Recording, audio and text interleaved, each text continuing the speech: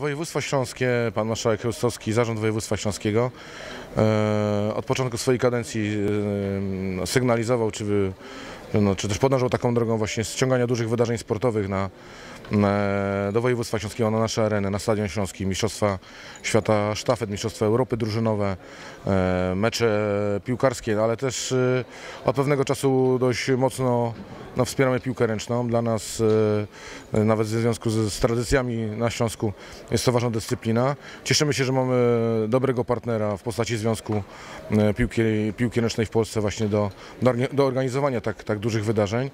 E, No i województwo śląskie mm, no, cieszę się, że, że, że może właśnie gościć e, no, tak wspaniałe i tak duże imprezy. Z pewnością jest to wynik no, strategii województwa śląskiego też w kontekście sportu. Sport niesie za sobą tą dawkę, oprócz oczywiście emocji tych pozytywnych. Można powiedzieć nawet, że, że wokół sportu można się zjednoczyć. Cieszymy się, że będzie występowała na Śląsku w Katowicach reprezentacja Polski. To zawsze też jednoczy kibiców i przyciąga do danej dyscypliny. Oczywiście kwestie promocyjne dla, dla województwa śląskiego są ważne. Promocja przez e, sport jest skuteczna. E, To pokazują oczywiście i badania, i wskaźniki, e, na które na, na bieżąco robimy.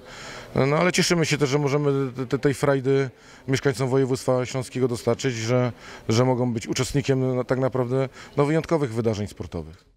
Wierzę to głęboko, że tak się stanie. Przecież e, e, Spodek to, no, to wyjątkowe miejsce na, na sportowej mapie Polski. E, tam też siatkarze przecież zdobywali Mistrzostwo Świata.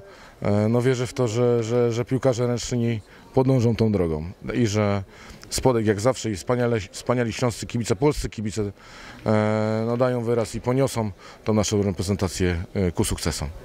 Tak, e, Mistrzostwa Świata w piłce ręcznej to ogromne święto całej jak dyscypliny.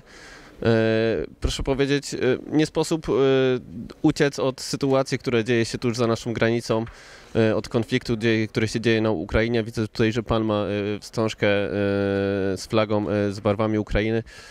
Ciężko mówić o święcie piłki ręcznej, kiedy za granicą dzieją się straszne rzeczy.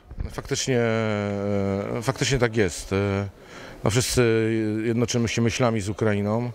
E, Sport też, e, to współzawodnictwo sportowe, mm, no to też kwestia tego, że zawsze wokół sportu się jednoczyliśmy.